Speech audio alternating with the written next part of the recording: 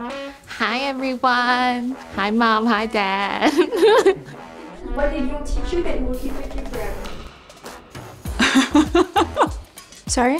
What did you teach you that you will keep with you forever?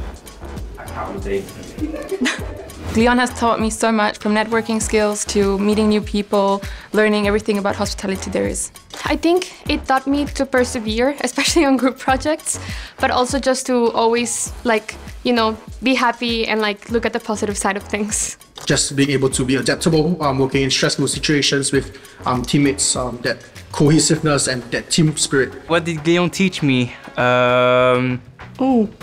The teacher taught me always be sympathetic and kind.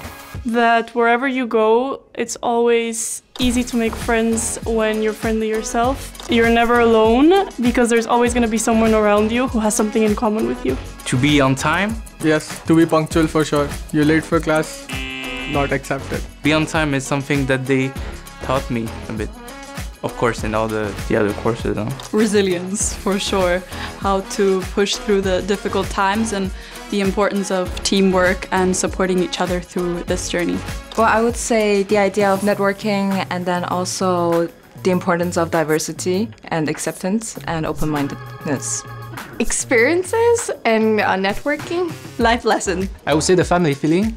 Being kind, being open, being friendly. Teamwork. the importance about friendship and also to build relationships as well as just the Glion spirit itself. Learning doesn't stop with graduation and has made me someone who's always curious and looking to learn more. Glion taught me um, about inclusion and diversity and to embrace inclusion and diversity. It's so international and how to be around people from all different nationalities. To be kind to everyone, be friendly, and you will get things in return for your kindness.